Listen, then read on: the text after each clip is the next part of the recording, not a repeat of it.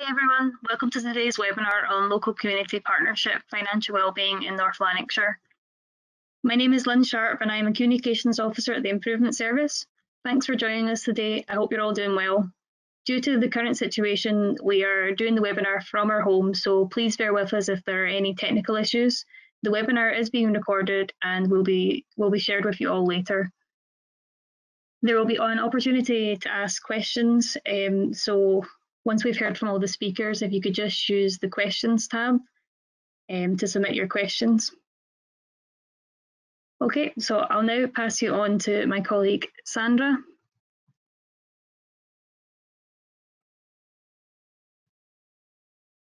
everyone. Thank you. Hopefully you can hear me okay now. Um, my name is Sandra Sankey. Thanks for joining us in the webinar today. Um, we have around 86 people registered, um, so that's a really good um, representation and we have a good spread today of across about 27 local authority areas in Scotland and other parts of the UK. I'm hoping that you'll all take something away from the session as well as possibly make some new connections. So I'm going to share with you today an overview of this Pathfinder project, what our role has been in the project and that of others and you know what outcomes we've achieved. So I've listed here the delivery, um, the speakers for today, and you'll see here that I'm going to hand over, you know, to some of the delivery partners later. Who'll share their own experiences of being involved with the project, followed by Alison um, Barnes from the Money and Pension Service. Okay, next slide. So firstly, I want to introduce you to the Improvement Service. So just to give you a little bit of background about who we are. We're the National Improvement Organisation for Local Government in Scotland. So we're the National Improvement Organisation for Local Government in Scotland, small organisation, we've got about around 80 employees and, and our work's quite um, wide ranging and varied. We deliver around about 30 core products and services and the My Account Digital Public Service. I'll add a link to our website um, through these slides so that you can have a look at your own leisure um, and see the, the breadth of the, the work that we do. We're an outward-facing um, organisation focused on partnership and collaborative working and sharing a good practice. And we work together in partnership with a range of organisations across Scotland. Over the last 10 years, the Improvement Service has matured in its offering and how it works across all the 32 councils um, with the national and local partners to ensure um, that they continue to support them in the challenges that they face, not to mention the current challenge. So what we set out to do, we were asked to actually convene a local community partnership with a mix of employers and community-led agencies across the public, and private and third sector and we were asked to co-design a range of activity and interventions which could help enhance the financial resilience, primarily amongst the squeezed and struggling segmentation groups of the working age population um, age 18 to 24.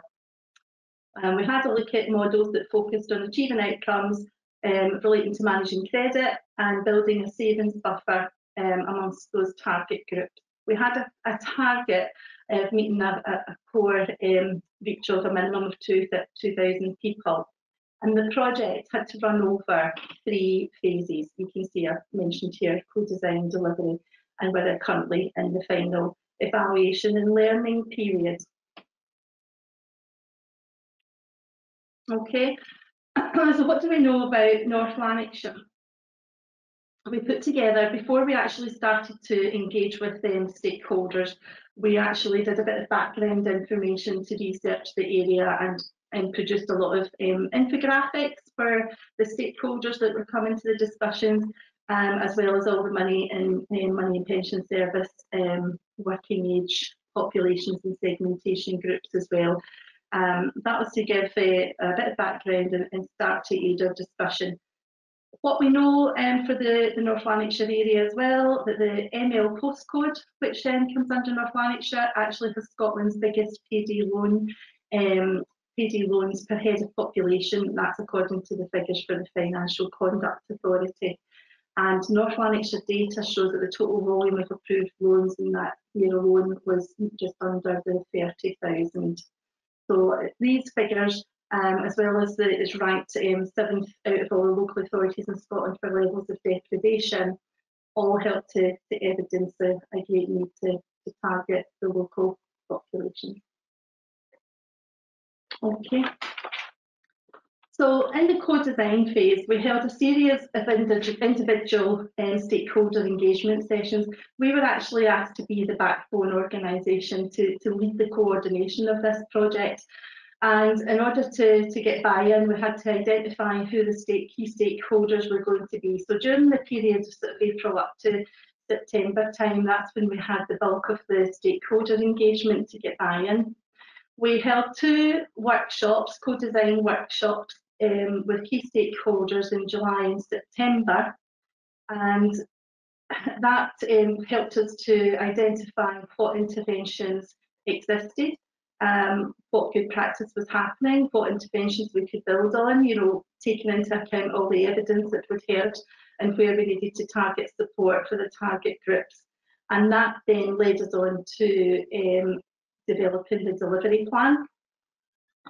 The outcome of that resulted in the local community partnership comprising mainly of the local authority employer, one private employer, third sector interface, two credit unions, and the Transforming Lives Community Network and um, community-led organisations like Count Family Scotland were involved with this as well.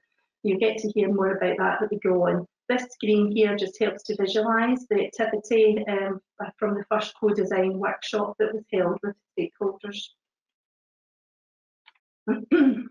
I'll just skim over this slide. It shows the range of um, stakeholders you know, that I've just mentioned, what we actually discussed in the group discussions, how we went about you know, getting to know what was actually already happening, what we needed to build on, and what people's roles um, I'd already followed up and had this one-to-one stakeholder engagement, so already had a fair idea of, you know, what people would be able to bring to the table. And um, the co-design session brought that out, and the partners were able to share with each other and what contribution they could make in the partnership. And a whole range of um, activities were identified. And at that first co-design session, there was commitment from the partners throughout um, and it was really successful and really um, pleasing to see that um, partners were, were in it to continue, not just come along to the first session and, and, and that was it, their involvement finished. People were committed to continuing to be involved throughout the lifetime of the project. This scheme just helps to visualise um, the, the organisations that were involved. What we did um, we put together um, a useful resource for the partnership and we set up a SharePoint so that everyone could access information. Um, a lot of the partners um, had provided resources and materials that could be used within the partnership um, for each other to share with each other and the, the people that they support. And this resource that we put together um, provided an easy link and reference point for all the partners to use. So we, um, as a result of the, the outcomes and discussions and from all the stakeholders, it was it was agreed really that the financial inclusion team within North Lanarkshire Council um, would be a key um, organisation to appoint as a champion within the project. So that's what we did. And we came to an agreement with North Lanarkshire Council and the financial inclusion team that they would take on a champion role. And really what we mean by that is obviously there's a whole range of services that they deliver within their financial inclusion service. You'll hear from John and, and his colleague Lynn later on. But um, this was um, an arrangement to, to work and oversee the, the delivery plan and collaborate with all the partners um, within um, that made a commitment within the, the plan to, to work with them. And um, I think you, you, you know the, the evaluation is, is really bringing out a lot of positive um, feedback from the engagement and working with the financial inclusion team. That became really apparent in the first co-design session. Um, the, the financial inclusion team have a role to, to chair with the North Lanarkshire Advice Network and that came throughout the, the first co-design session that there was a real need there to um, engage with the network that um, with the, the other networks that I've mentioned here on this slide, and you'll get to hear about some of that, that later. Um, some of the key stakeholders that were involved with the co-design engaged with a whole range of other partners in the, the local area that the financial inclusion um, service and advice network perhaps were not um, didn't hold as strong links. So this is what the partners helped to um, achieve. This slide um, helps to, to show the reach that we've had in, in the project. So working with the local local authority employer alone, um, the local authority has 17,000 employees and you'll, you'll hear from, from Ian and his, his engagement and the work that he's been doing. Um, this is a there's a whole range of um, events that have taken place in the community, so reaching out for over about 800 people, one-to-one face-to-face -face engagement. Um, that's also out of the 17,000 employees, there's there's been face-to-face -face engagement, um, you know, for over about 1,200 um, employees. The, there's been several communications, um, you know, on a few occasions out to the 17,000 employees, so everyone's been reached in some form of communication, as well as 36,000 council households. Every um, photograph and an icon has got something to do with some activity here. Not all the activity, this is just some of the activity um, that's been happening within the project. So from um, Motherwell uh, Football Business Club events. One of the partners in the, the, credit union highlighted this event was taking place and you know was willing to um, talk about partnership and be involved. And there was over a hundred um, businesses involved. Um, we've had employment fairs, we've had one parent families workshops, we've had private employer, um, with construction employees, we've had tenant conference events, and um, employee road shows. We've had workshops delivered with lone parents, young parents, um, and community events as well. And if I've missed anything, I'm sure um, our partners will, will, pick up on that. And we had the Challenge Poverty Week, which kicked off in, at the start of the project in October, um, and a range of the events happening then. And a lot of the activity was able to focus and be branded around Talk Money Week, you'll hear more about that too.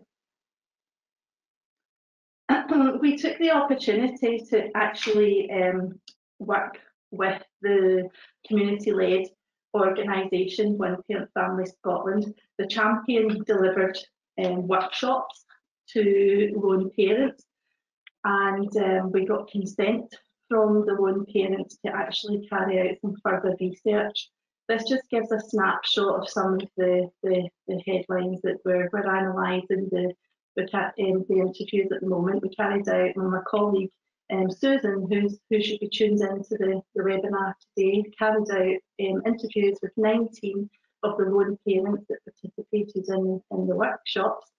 And we'll have a separate publication ready next month um, to, on the findings from this research. And firstly, we'll discuss it with the champion as well as One Parent Family Scotland partner. Um, and if any of you would like to know more about that and the learning that's coming from that research, then you can um, complete the survey at the end of the, the webinar and we'll make sure that we, we share that with you. So we managed to achieve what we, we set out to do and we managed to have a mix of public, private and voluntary sector partners involved. Um, you know, we have, um, can we had we had buy-in from all, all, the partners. This is um, what worked well, some of the challenges for us, um, time constraints. You know, I think if we had more time to have planned ahead uh, and you know managed to engage all the kind of key stakeholders, it was really quite some of our experiences were quite challenging initially, especially to get into the private sector and trying to engage some private employers. A lot of energy, you know, was put into trying to engage the employment sector. And we know that that can be um, quite a common uh, thread throughout. Um, but we've, you know, we've, we've we've had to put quite a bit of hands-on support into the project initially to, um, you know, get the stakeholders on on board. Um, we had thought we would have worked with the evaluation partner. Unfortunately, the evaluation partner wasn't able to be appointed until quite late on into uh, the, the, process. So that you know meant that we weren't able really to engage with them early on and get that added extra value into what, the, the, what else we could be adding and doing, enhancing you know what we were delivering. Um, but as far as I'm concerned, and what we set out to do, you know, the partners have, have, have delivered um, on everything, exceeded expectations. We've had great reach, great enthusiasm. Um, we were hit with a few challenges in terms of what we could communicate um, on the project. Um, but we're, you know, that now that we're at the end and we're sharing the learning and we'll have publications ready, we will look at how we can embrace the communications moving forward now with collaboration from partners. We had some restrictions, as you'll see here, as I'm sure everyone else has had as well with the um, election period. Okay, this is some of the feedback that came came back from partners um, and the opportunity to expand the project. We've we held a steering group session to look at you know sustainability and um, these are some of the, the recommendations that have come out. I'm going to skim on because I know that we're obviously probably going to be quite pushed for time and we've got other speakers to go through and we've moved on quite a bit of time now. Um, you'll get to hear about the tackling poverty work that John will, will lead on and I think I'll pick up on um, any questions that, that anyone has at the end of the, the webinar if that's okay. Next steps for the project is, you know, completing all the learning and evaluation, and we'll collaborate with the evaluation partner that's been appointed. We'll produce the, the, the learning paper from the lone parent research. We'll produce a summary report of all the activity that's been carried out. I mean, today you're just getting to hear about some of it and from some of the partners. And then we'll be obviously looking at, well, what now? You know, what what the partners, you know, what can what have they learned, you know, in the process, and what opportunities are there and that will all be written up and it will all be shared with some recommendations and discussion, you know, with partners at a local level and how, you know, they're going to look to, to take that forward. But I'll hand over to um, John Campbell now at North Lanarkshire Council and he'll be able to take you through um, some of these ideas for that. And thank you for listening. We'll come back in later on. Okay, well, thank you very much for asking me along um, this afternoon. I'll try and go through my slides as quickly as possible because I know um, I've got a colleague from our HR still to do uh, some slides as well and, and, other presenters. So my name is John Campbell and I'm the Financial Inclusion Manager in North Lanarkshire Council. Um, as Sandra said, we were approached to take part in the um, local community partnership Pathfinder um, around um, affordable credit um, within North Lanarkshire. And I think one of the reasons why we probably were approached is because of the work that we were already doing within North Lanarkshire. So firstly, just briefly run through what the financial inclusion team in North Lanarkshire does. So we provide the welfare rights, income maximisation, debt advice uh, service to resident North Lanarkshire Council. We also provide support, advocacy and representation with mandatory reconsideration, social security appeals and courts for residents of North Lanarkshire Council. We're also responsible for the commissioning and monitoring of external services uh, who provide advice and information on behalf of the Council. And uh, we are the lead team for tackling poverty in the welfare reform agenda in North Lanarkshire Council also. On top of that, uh, we work corporately with other council services and the Health and Social Care um, Integration Service um, to tackle poverty, deprivation and inequalities within North Lanarkshire. Just obviously some background information. Um, North Lanarkshire, one in four children in North Lanarkshire live in poverty. One in four households can't afford to their fuel costs. Um, and then we're obviously quite um, a lot of work around, you know, in promoting that benefits doesn't get you out of poverty, but it can loosen the grip of poverty and can be a lifeline for, for many people. And also looking to promote equality across all of our services um, is key to tackle poverty. Our approach in North Lanarkshire has been, we had a, a, Fairness Commission back in 2019, so it was an independent Fairness Commission, and it set 16 recommendations, two of which you'll see in the next slide. Um, we then also, uh, in October last year, the council produced its plan for North Lanarkshire. It's a plan for North Northland. It's just a one approach plan. And then on top of that, the, the other local authority in Health Board in 2019, we, we were done a lot of work around local child poverty action reports, which we submitted back in June 2019. And again, in part of the um, action plan around that was to do stuff around affordable credit. We're currently developing our overarching tackling poverty strategy, which again will have an action plan. And this one in 2020 will incorporate the action plan for, for the local child poverty action report for 2022.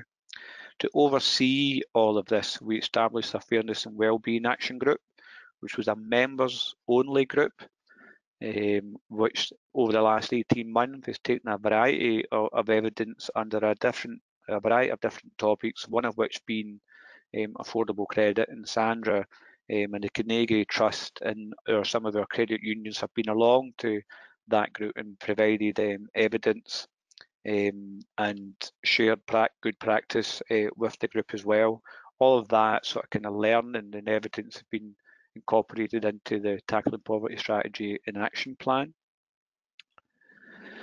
The two main recommendations that coincided with the local uh, partnership from the Fairness Commission, as you'll see, was to eh, increase um, credit union uh, payroll deduction. Um, over time, we have uh, learned that it's um, increased credit union saving deductions is the right language to use.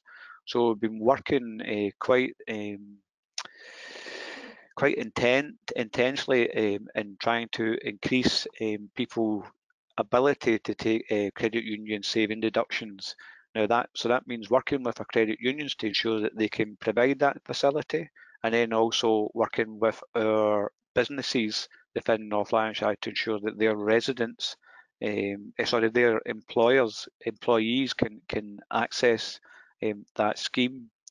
Um, one thing that we're looking to do within underneath the tackling poverty strategy is under the community benefits for tendering for local authority um, contracts um, that we, we would add that um, the successful uh, tenderer um, should, you know, would get more weight towards it, it, their score if they offered or allowed their um, employees to access say, credit union saving deductions, although that's still in its early stages just now. The other recommendation was to provide access to affordable credit. So we have around 17 local credit unions um, some really, really small and, and, some quite big, but we also have two sort of kind of regional credit unions operating in it in our area, which is Lanarkshire Credit Union and Scotwest Credit Union. Um, so again, we're working with all these credit unions to, to make sure that if we're looking to increase um, savings um, deductions from payroll, then obviously we need to have the, the credit unions available for, for that to happen. So the lo local community partnership for North Lanarkshire, the financial inclusion team, as um, Sandra has said, our role was to be the champion, um, both internally um, within the council and all, um, and externally. Um, what we have found that has worked really, really well and has is something now that that will carry on forward is it certainly brought the financial inclusion team and HR team closer um, together, particularly looking uh, at our own staff grouping. Um, we're obviously in the sense of the the reach for the Pathfinder around 2,000 people, uh, we were able to do quite easily by getting a communique out to to all of the employees within North Lanarkshire Council. And it has meant then that the HR team has been able to to develop a lot of a financial initiatives for the employees, but I don't want to steal um, Ian's thunder because I'm sure he'll cover quite a bit of it. But it's certainly one of the, the main positive of it is the strengthening of the relationship internally between the financial inclusion team, HR and, and other council services. Externally, Well, it certainly um, uh, it's certainly strengthened the relationship with a lot of uh, voluntary organisations who have taken part in the um, partnership. Um, Sandra had mentioned uh, One Parent Family Scotland, but there are a variety of other organisations who we have worked quite closely with. And again, it's just building up that trust within relationships um, and good partnership working and allowing everybody to work to work towards the same aims and, and objectives. So it has strengthened relationships. Eh, it's also allowed us to create new relationships and then to link people into what was already existing within North Lanarkshire. For advice services, for argument's sake, you've got the North Lanarkshire Advice Network, uh, which is the financial inclusion team uh, chair. So again, we, we were able to make sure that people got a, a mixed economy and, and were able to access the independent independent services if there were still concerns around talking to a council service.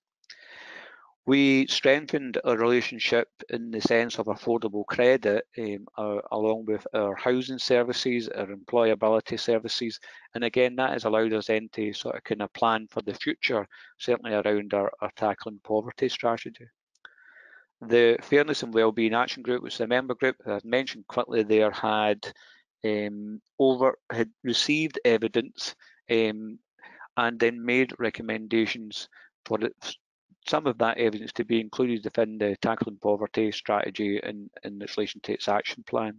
That fairness and wellbeing action group was meeting um, every eight weeks, but from now we'll only meet uh, twice a year with the overarching tackling poverty strategy going, well, supposed to be going to the Policy and Strategy Committee in, in the 4th of June, but considering uh, for approval, but considering the current circumstances, um, all council committees um, have ceased just now, so I'm not really sure whether that will. So I'm assuming that it will just go to our corporate management team for approval, and the chief executive under these delegated powers will will, will implement um, strategy and, and in particular its action plans. It does, within the action plan, cover quite a lot around um, affordable credit and it also take in quite a lot of the learning that we've had um, during the last um, three, six months um, for, for the local partnership.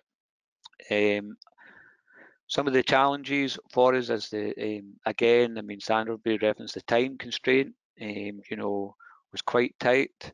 Um, Another challenge we sort of kind of faced, particularly when we were working with external employers, is that we had a, a really good external employer who was really, really keen to, to work with work with us, and we did do a lot of good stuff together. However, when their um, deadlines and, and time constraints um, for, for their workers did um, prove a bit of a challenge and indeed some of the work that we want to do with them and what they want us to do is, is still um, incomplete. And um, and again because of the current circumstances we're not really sure how that's going to um, pan uh, pan out.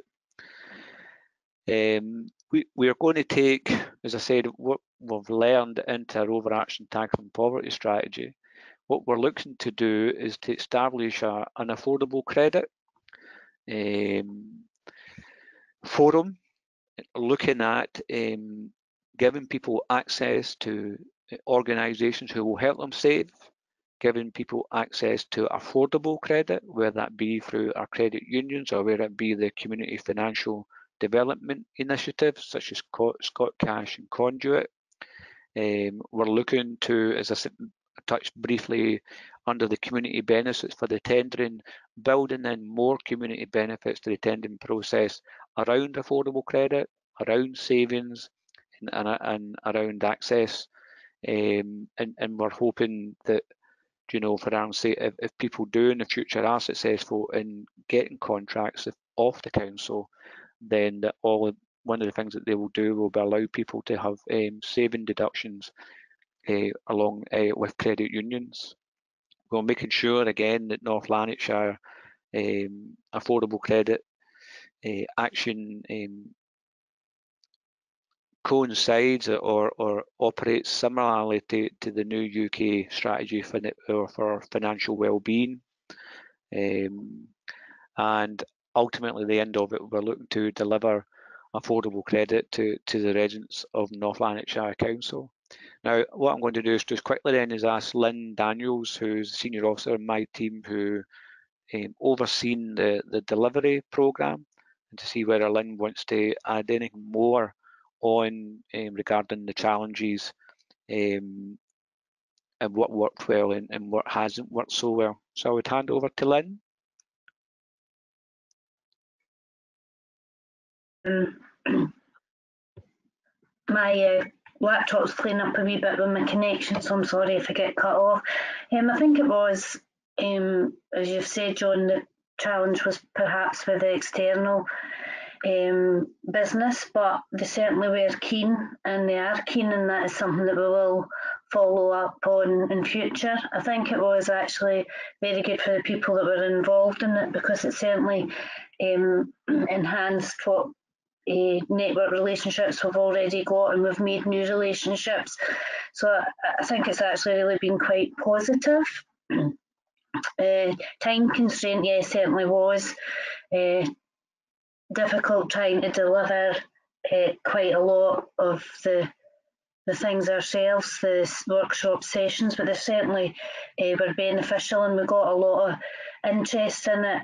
Likewise with our Talk Money Week, I think that really allowed us to engage with staff within the council that maybe wouldn't have engaged with us before. So I think there has been a lot of uh, benefits from from this, and it's just about building on it and making sure that that people don't feel that we've said, oh, we're going to do something and we don't don't move it on. Okay, uh, thanks very much, uh, Lynn. So Lynn from Improvement Service, that's our presentation, is that okay?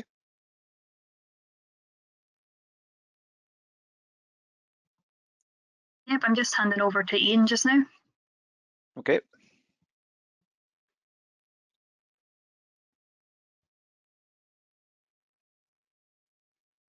Oh, hello everyone. Can you hear me okay there, Lynn? I can hear you and I can see your slides. Oh, super. Uh, oh, good afternoon, everyone. My name's uh, Ian Stanger. I work in the traditional HR arm of the council. Uh, proper job title, Sunday title, Leader and Talent uh, Development Lead, and uh, I work under the Chief Exec's uh, Directorate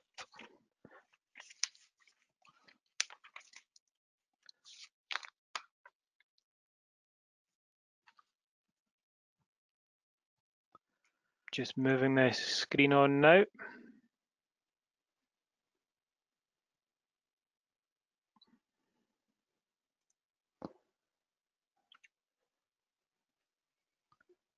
Just waiting for the, the screen to move on. Just so I was saying uh, I'm one of the four service areas of the council. Uh, HR, arm people and organisation development all came together three years ago from and centralised and part of that remit was bringing together all our different HR, health and well-being and reward packages together uh, under the one branding, uh, and we termed that NL Life. Uh, so a key feature of NL Life was our financial well-being of staff. I'm just trying to move this slide on.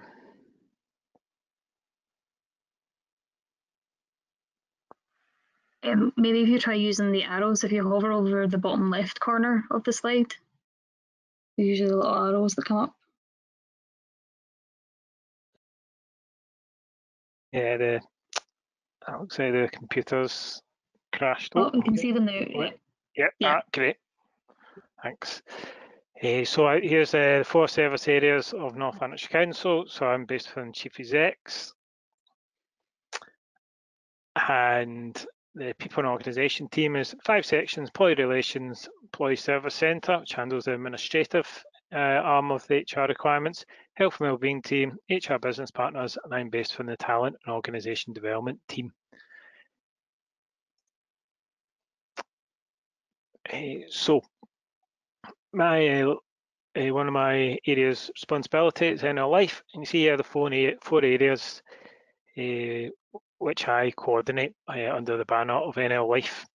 Now just take you onto the NL Life site. And so here is a home page for NL Life. So staff access here for all the support and well-being that's available to them, whether it's their shopping rewards the rewards and recognition, uh, health and well-being support from podiatry to healthy lifestyle checks, uh, flu vaccinations, uh, mental health, and then all the learning opportunities open to them, and then NL Life, your financial uh, well-being. Uh, so just click into here.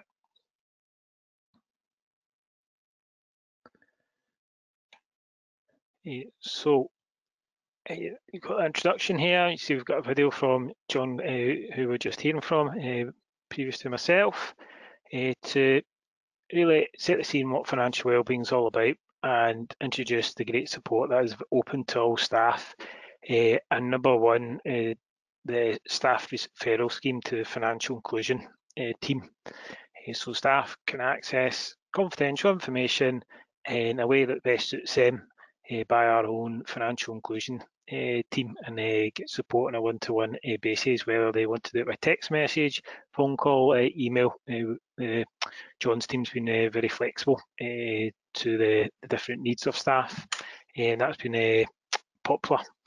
And then we've got trying to get a nice blend of some in-depth material to some light, lighter touch material here. Just scroll down, see how, how curb your spending. That's a wee uh, challenge on how much you spend on your non-essential buys. Like if you have a coffee a day, what that actually tallies up to over the space of uh, a week, a month, a year. And you see, very keen to promote the financial support available for that fantastic financial support available through credit unions and uh, some uh, guidance on keeping safe online. So we've really tried to pull out here some of the top tips and support that's available uh, to to employees. And we've got reducing your energy bills, and in particular in-house retirement planning workshop that we're on, uh, pension advice, and then further discounts available exclusive as a NLC uh, eh, colleague.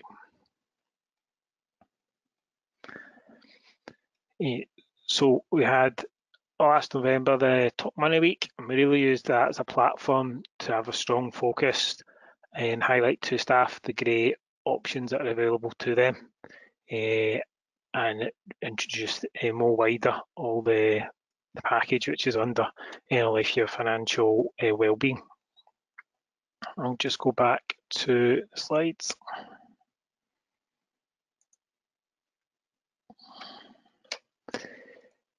Uh, part of that talk money week, we ran some stalls. Uh, in the bottom left-hand corner, we have the Civic, which is our headquarters. Uh, so at the stalls, we had the financial inclusion team represented, along with our two credit union providers who are available to staff. So that was the Lanarkshire Credit Union and Scotwest. We went around regional, local offices and top right, see we're in the, the depots extensively as well. So we ran some competitions through uh, Talk Money Week and uh, we had a really good uptake and involvement there. And we had uh, all user emails, posters, our Connect our in, intranet. Uh, so we had the top uh, banner uh, screen along there and the bottom right hand corner is our internal messaging system and here we've got one of the depot sessions pictured We've got our chief executive, you can see along the bottom here, making a comment uh, on uh, the Talk Money Week. So that was great to have uh, Des involved in that. over the Talk Money Week, we got a good number of employees involved face to face across 24 events, and that was targeting 18 different teams. That was from conferences to smaller uh, workshops uh, in the local offices. So it was a busy week and it was fantastic. We had great uh, support from two credit unions and financial inclusion team uh, along all these sessions. so staff had a good uh, good access if they were along to talk uh, over any elements face to face, find out uh, more information on what was available uh, to them. So when setting out to improve our uh, you know, life focus on financial well-being, I'd come across uh, this breakdown on looking at internal financial uh, well-being strategy, and I was looking again through that last week. I'm breaking that down. I was doing what's worked well. To, the the top one there, how to convince senior leadership. That was uh, we had that from the word go with the Fairness Commission giving it such a strong focus and platform at that level. Uh, with doors open in terms of support and resource uh, to, to dedicate some time to, to really improve the financial uh, wellbeing offering to staff and highlight it. Uh, second one, how do I find out who I need, need to help? Uh, John's team are absolutely essential and it's fantastic. All their, their support and pulling all the required uh, strings and uh, making the contacts to, to give us a platform to take it forward for staff, credit unions and such. And in measuring financial well-being offer is effective through uh, Life we can see a clear breakdown on all the clicks and hits and what's proving popular uh, so we can track uh, what's been uh, catching staff interest and what they are engaging in so that's a, really useful uh, measurement even better if we've got a long way to, go I feel and having it more as, as an everyday conversation. But I feel we, we've taken it forward a great deal by getting a focus on it, like the Talk Money Week. And it's great having colleagues approach me uh, and mention uh, what they, they've utilised from all the support and looking at really how we can take it forward. Uh, the communication uh, further, we've got all the challenges you'd expect from local authority and many different uh, team makeups and it's trying to reach all the all colleagues uh, so they've got equal access uh, and I think that's something still really need to take forward so they've got equal access to the support and wellbeing offering that's there. So that is me giving you hopefully a whistle stop tour on what we're really focused on uh, as an internal offering uh, for staff and the, the context it's at within. So I'll just hand back to you now, Sandra.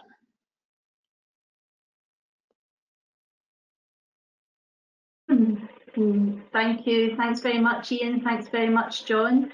Um, that was a great, you know, quick run through of um, all the activities that you've been delivering. I think it was good to give that online um, navigation around, you know, some of your internal employee benefits platforms and showing really how you've built on the financial wellbeing pages. I think as well the the two credit unions that you've got in the payroll, you know how you've you, you know you could have gone in a wee bit deeper there and showed as well the platform that's been set up and how you've got that streamlined process, you know, for employees to be able to to access um, the the credit union um, is a really you know positive um, positive outcome. Um, so thanks, thanks very much. If anyone wants to obviously know any more about any of this, they can, can ask us at the end and, and follow up afterwards. So I'll thank you both and it's time now to pass on to one of the other um, local community partners, which is um, Peter Ann, PA, known as PA, from Remploy, who chairs the Transforming Lives community. Thank you, Lynn.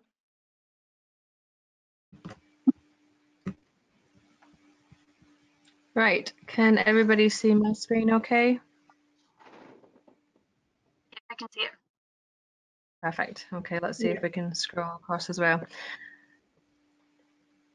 Excellent. Okay, so my name is Peter Ann Patterson. I'm the Partnership Manager for Remploy in Scotland. Um, I'm going to tell you a bit more about the Transforming Lives community, kind of how it came about, why we have it, etc., and, and a bit about kind of how we utilise this to support this this group um, and get a bit more information across for people. So the TLC itself for us, it is very much around getting people um, talking, networking, um, as many partners as possible. It's it's not dependent on what sector you're in. It's open to all sectors. Um, is very much around tackling Scotland's key challenges. So we, are looking at employment and skills for people and how people access those services. Um, when you speak to the general public, they often say they don't know who to speak to, how to access it, where to get it from. Um, so we're trying to take away that kind of fear of people not knowing where to start and give them a wee platform. So when they're working with us on our, our whatever program you happen to be working on, if you're part of the TLC, then you would know who to go to for specific specialisms and support. Um, as as a group, we report on our findings. We look at um, where people tend to refer out to more. We can only do that from ourselves. Um, we're always looking for information from other partners where that's possible, but, but we have reports that we're able to pull from where our teams are, are utilising different services and how often those are. Um, and we're, we're, quite work very closely with Scottish Government around that about what that looks like. Um, so that's helping in designing the future programmes that are coming through. Um, it's very much user-led the way that we do this. So we deliver Fair Start Scotland uh, as Remploy in two areas of, of Scotland, and we've utilised the TLC to support that. Um, and it's user-led in the way that it's up to the person what support they feel they need to help them get into work. Once they tell us what they need, we then have the organisations we can access. So it's very much driven by them um, and not us dictating to them as, as to what they're going to do next on the programme. Um, it gives a direct access to a large number of stakeholders. So we are forever growing the TLC. I'm always looking for new partners to get involved, and I utilize the existing members to let me know of any. Um, I've had quite a few lately from DWP actually who've mentioned a few partners that I hadn't heard of before that I'll be getting in touch with um, to see if we can bring them onto the Transforming Lives community and, and give more access to other partners from them as well. It's very much about collaborative working. Um, every meeting that we hold, it's we only do them quarterly, but what we like to do is make sure that it's involving as many partners as possible. I ask partners for support as into what the next agenda is going to be, what sort of things do they want to have happen. Um, and the collaborative working comes through knowledge and experience of those partners to tell me what they want. When we saw this program come up and this pilot come up, uh, to me was a great opportunity to bring a, a group or an organization in who are working on a specific thing that's, that's very relevant to a lot of the partners that we work with. So when we brought them in and, and got the improvement service in and the financial inclusion team in to kind of do a workshop, it was true collaborative working because it came from loads of different partners and we got a lot of examples from from different people who have people that are on totally different parts of of their journey. So it was good to kind of hear from all all of those people and understand the different barriers that people are facing at different stages in their life. We like to share success stories. Um, we do a lot of good news stories ourselves, and where possible, we will involve those um, organisations in those good news stories. Um, my favourite ones are where they involve more than one partner organisation um, on somebody's journey, just to show how that collaborative working can really make a difference to somebody's life. So this kind of gives you an idea where we are now. Um, so we have over 100 organisations. We have national and local forums. So the TLC actually started at a national level.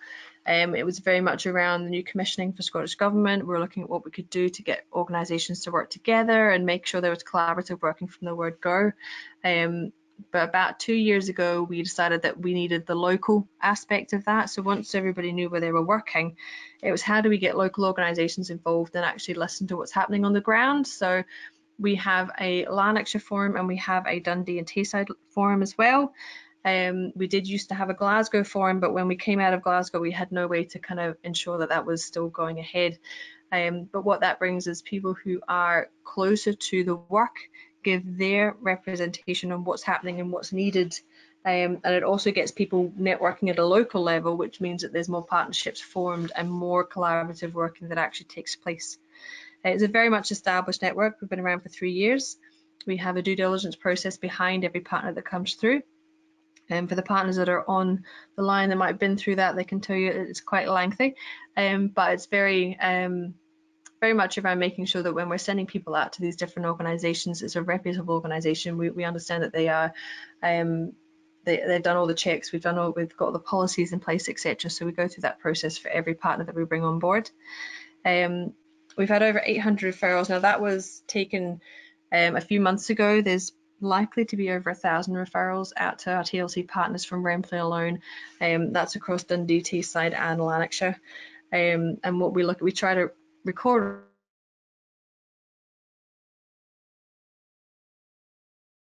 all that because it, it shows us what partners we're using, it shows where the successes are, and our reports can tell us how long somebody has stayed in work once they've gone through that process as well.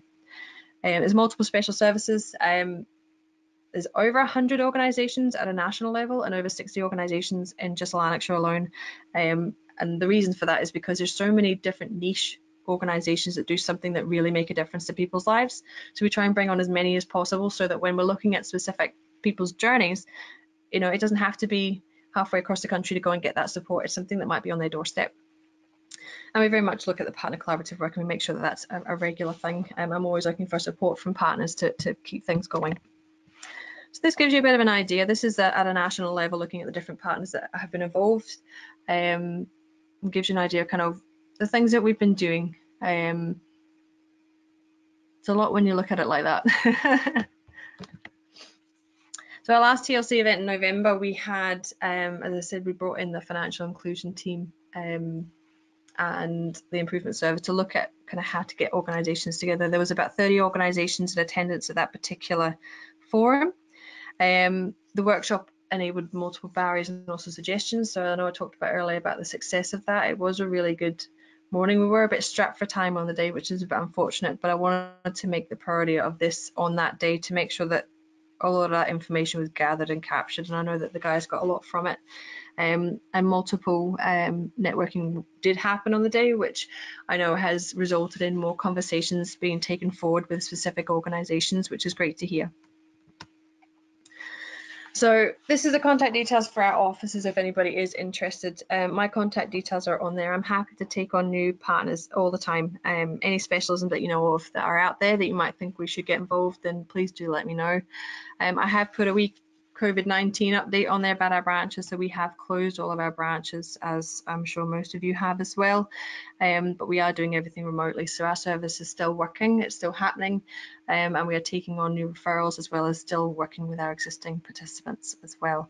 Um, so yeah, all the details are on there. All the numbers on there are all diverted to specific phone numbers as well. So you can still contact those um, specific numbers. But as I said, if you want to contact me to ask any more about either Remploy and what we do or even the Transforming Lives community, and if you want to take part, then please do get in touch. So that's me for today. Thanks, PA. That was really informative. Um, just to add on, obviously the um, financial inclusion um, champion um, delivered the workshops with the Transforming Lives community what that you know has led, led on to now is a whole range of other um, suggestions and ideas for further collaborative working. So, um, and a, a, full range of other interventions, you know, um, that have come out of that workshop. So we also now need to look at how can those needs be met and how can the partners um, address that and look at scaling up their activity. So those further conversations will be taking place. As we move on. I'm really conscious that we've moved on um, a good bit of time. We are running a little bit over. Thanks very much, um, you know, for everyone for being with us. Um, we're just going to keep running, running over, um, and you know, to give us um, maximum value. Should we probably have another 10 and then minutes for Alison, and then you know, five minutes, 10 minutes or so for for questions, as if everyone is okay for time, we will we'll carry on and I'll hand over straight to yourself now, Alison from the Money Pension Service. Thank you.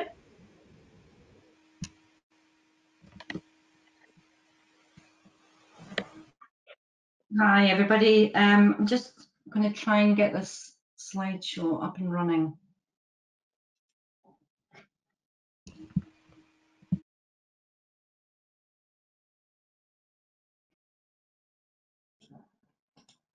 Right, how's that looking, Lynn? Is that okay?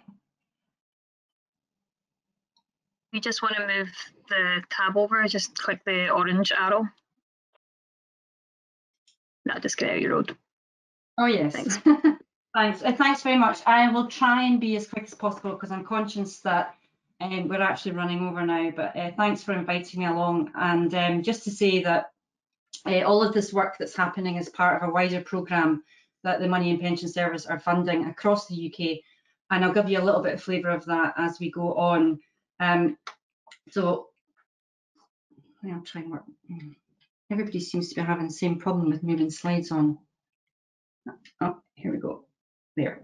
Um, so just, just to, for those who don't really know us, the Money and Pension Service, we are an amalgamation of three organisations that came together last year, which was the Money Advice Service, the Pensions Advisory Service and uh, PensionWise. And these are our objectives and functions. And I'm going to talk today about one of the um, objectives that we have, which was to develop a, a national strategy. Um, just obviously in these very challenging times just now, we have a lot of information on our website about coronavirus. We have uh, lots of guidance around what the government have recently been announcing with support. Uh, and we've also got a Facebook page, which um, I could ask Sandra to send around links to afterwards. Uh, we've got a lot of people asking questions on there about their current cir circumstances as well. Um, we've also got a helpline for money guidance. Um, we've got a pensions guidance helpline. We've got web chat. And for anybody that's interested, we have lots of tools and guides and we can syndicate our content out to you. And I think at this point in time, obviously, we need to try and get as much information out to people as much as possible. So I'll just do a quick um, overview of um, why we've started to look at developing a UK strategy for financial wellbeing. We did a lot of work over the past year. These are some of the figures, and actually, I think these figures will change quite dramatically over the next few months, depending on, on what happens. Um, but these are the baseline that we did last year around why financial uh, wellbeing uh, is really important. Uh, so if you think around 5.3 million children do not get a meaningful financial education, and we've surveyed children across the whole of the UK, and around about half in Scotland are saying they can't remember having had meaningful financial education. Um, and 22 million people do, don't know what they need to do to plan for retirement. So see, these are some of the reasons why we need a strategy. Um, and also, um, everybody's been talking a lot about financial wellbeing. It's great to see the work that's been going on in North Lanarkshire. Um, but it is about feeling uh, secure and in control, and it will be quite a stressful time for a lot of people just now. So we want to try and support them as much as possible. Um, and obviously, lots, lots of people are, are no longer in the workplace, so that has changed that dynamic. So the overarching uh, sort of framework for the strategy is set out on this slide. It's a little bit busy. Um, we've set out very challenging 10-year goals um, obviously, in the immediate in the immediate term and the short term for this year, we will be recognising that there's areas here that it probably will not be possible for us to, to, to be doing work around encouraging more savings. For example, I think more people will be using their savings, um, but we also want to get people to think about the sort of future and coming out of that. So, so whilst we look very much at a short term plan for Scotland. We'll, we'll, develop a delivery plan. We'll also be looking to the medium and the long term and the medium term about how do we, we, we support people through this crisis and start looking to the future as well. So very challenging targets over the 10 year period and over the next six months, we will start to develop a delivery plan for Scotland. Hopefully that will be published towards the end of the year. That'll set out how we're going to work against some of these agendas um, and actually how we link in with Scottish Government policy context and really get as much input from our stakeholders in Scotland um, as much as possible. This will help determine how funding is, is channeled. Um, there'll be opportunities to work with others on, on pooling funding, for example. So uh, lots of work going on over the next six months. Uh, just to say as well that uh, we were due to have an event at the end of this month, but it's now a webinar.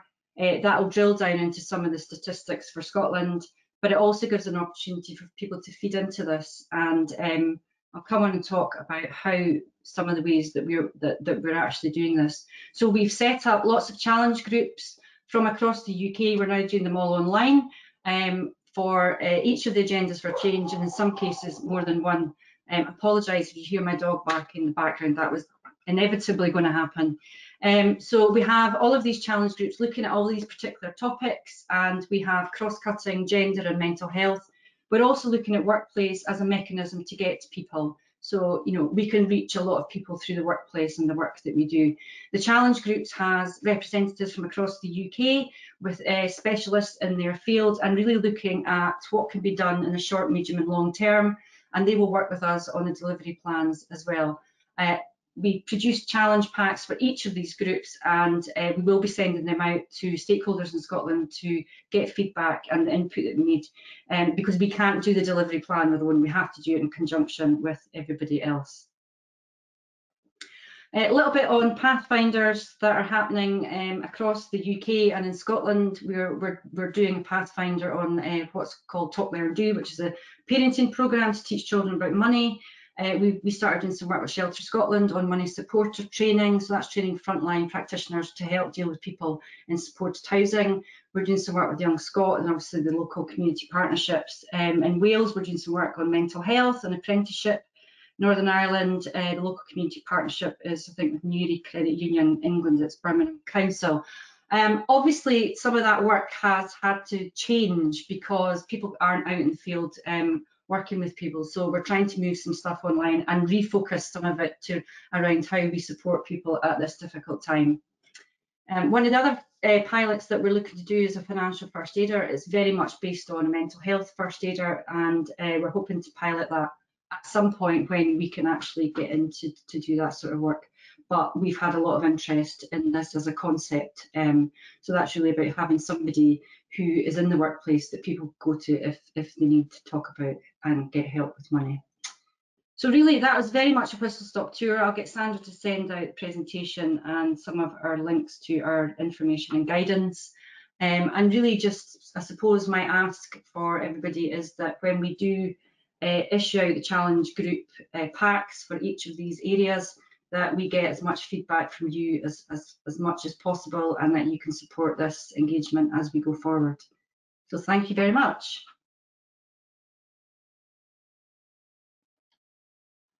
Thanks, Alison, and thanks to all our speakers. Um, we are going to take some questions if anyone has anything they want to ask. So just use the questions tab. Um, be helpful if you just say who you're directing the question to. Otherwise, um, I'll just open it up to any of the panelists to answer. So the first question um, is for John, I think. Um, is there scope to look at affordable credit for those employees who are really who really need it? Perfect timing for a private employer to be involved.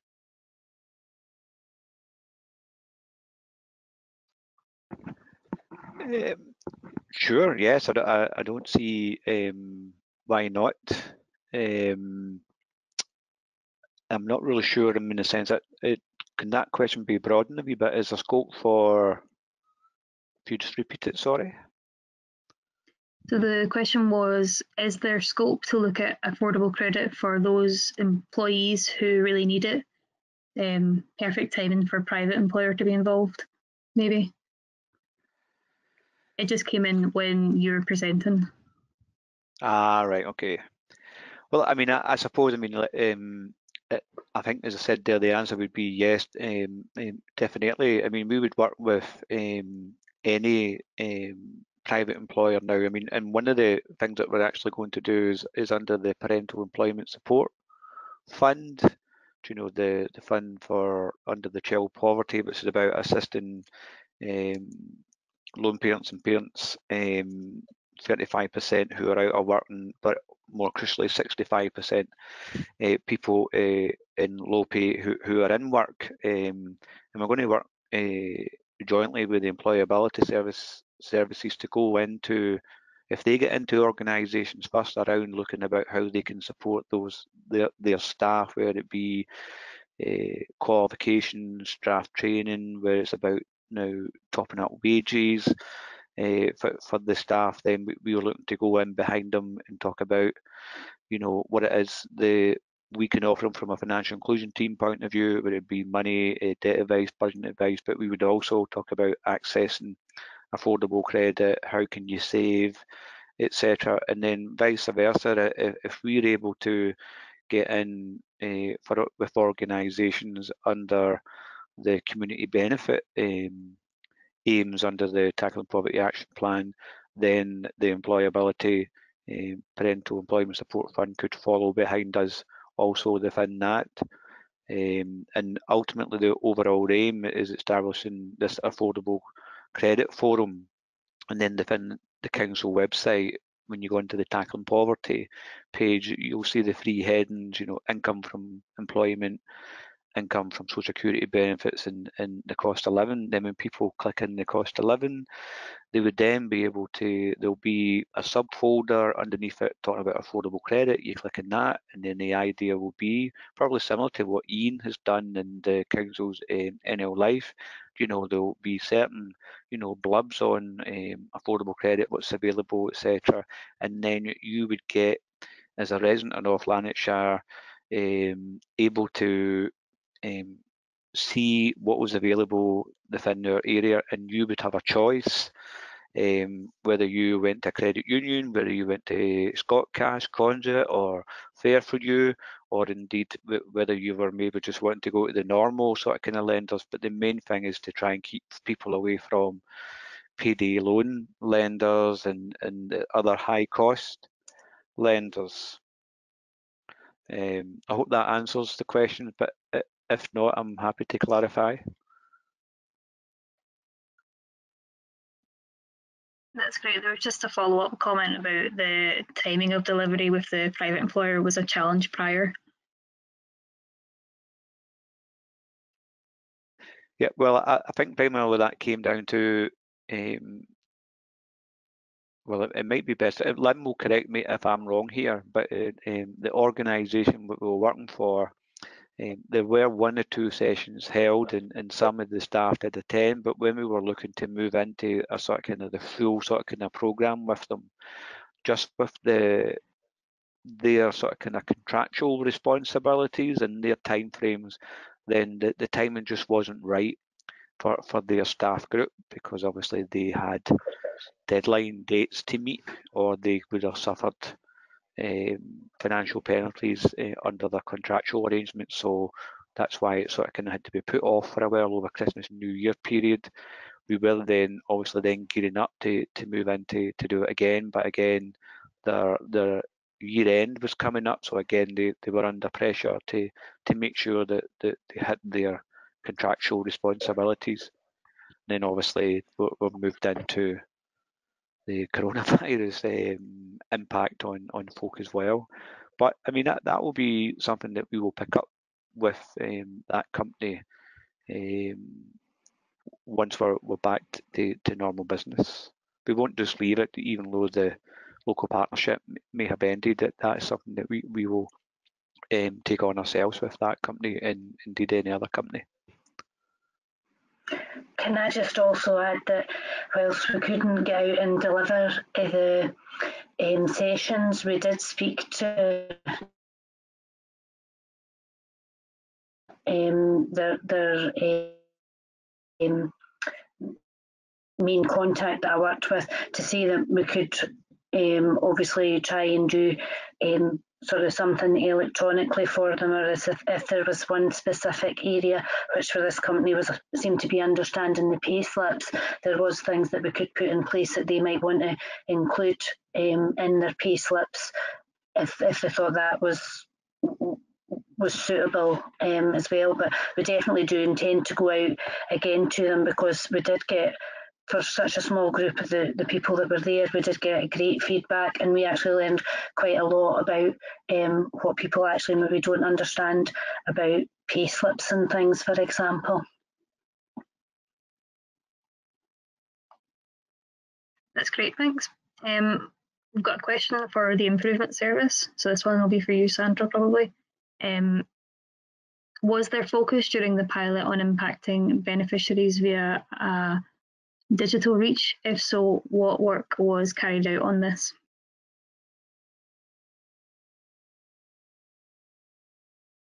Can you hear me now? Um, thanks, Lynn.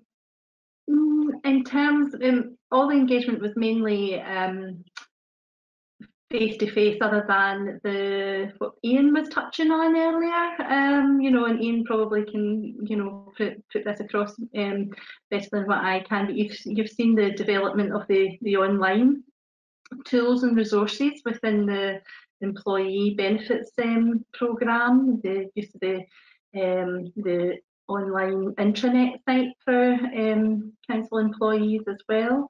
Um, so there's access to, to e-learning um, programs and there is plans, discussions in place to obviously look at developing that. I know we haven't gone into gone into discussion around that, but um, so not to um, a great extent. Part of can probably um, you know talk to this as well within the workshops.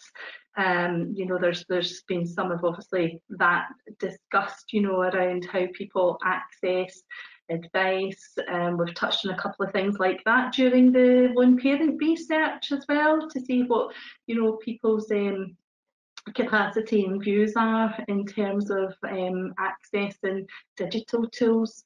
So hopefully that's given you enough information.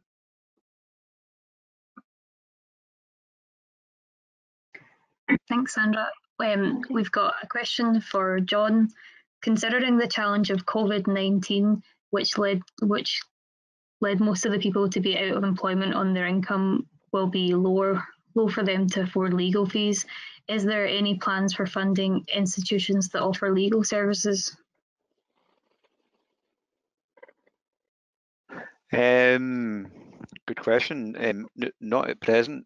Um, I, I, I think you know we, we have found that some of the responses that the government has put in whether it be you know the mortgage holiday break, you know the help with um, for rent, private and social rent, um, help around credit card, and and obviously the 80% grant, and then obviously all the other stuff that they're offering businesses.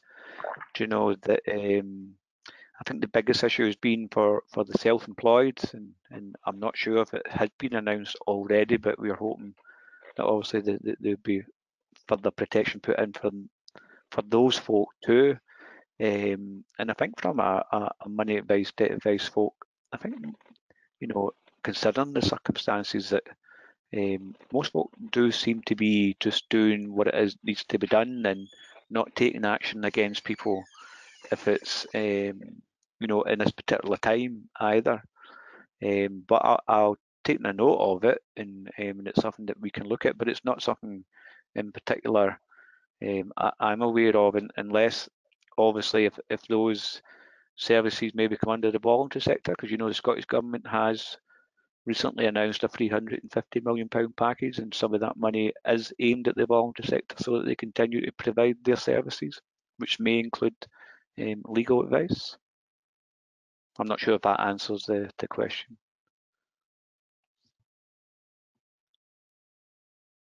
That's great, thanks. Um, I'll just hand back to Sandra um, just to kind of wrap the webinar up. Thank everyone for staying towards the end there. I know we've run on, but um, I hope you found it really useful. Okay, thanks very much, Lynn. Um, thanks very much um, all the speakers and all the participants today. Um, good questions being asked there. Um, you know, there's maybe you know more if you want to keep an eye on in the papers that will come out, you know, from the learning. You might find more information there. Please do contact us at any time you want to hear um, a bit more about what we've been doing. Um, so really good outcomes, really, you know, good um, relationships strengthened, new partnerships formed, new referral pathways, um, lots of good learning, good questions being coming out there as well about the the, the COVID-19 um, we have, um, following this um, webinar, you will receive a survey from us to give us some, some feedback. Thanks very much for bearing with us through all the, the technical issues and trying to deliver this uh, today the way we are. Um, I know we've ran over. We are asking some um, feedback from you, you know, in your own capacity, you know, what you're doing within your own workplace or organisation, anything that you can share, any good practice. Um, if you want to keep in touch at all, um, we've also asked a question about, you know, anything that you're doing that you can share and how you're responding to COVID-19 as well. So again, for the person that just asked that question, there might be, you know, some some information that will get fed back to us that we can also look at what we can share. So I really, um, you know, be pleased if you can contribute as much as you can and we've got a role in that you know to help um, gather. Alison earlier um, mentioned about sharing the information as well. Um, my colleague Karen and I we've been doing that um, around our different stakeholder networks on our knowledge hub platform um, as much as we can you know to get information out there and we support an elected member um, programme and we've engaged with them. We've got a group, special group set up at the improvement service to engage with members. So all this vital information, we've been um, helping to, to, to, get that out to the, the people that, that need it. Um, thank you all. Thank you so much um, for Lynn for facilitating and, and, bearing with us all. You've done a great job. Um, my colleague Susan's been listening in as well. There wasn't any questions on the lone parent um, research that we're doing um, but we will share that with you at a later date and we'll ask a question in that in the survey as well.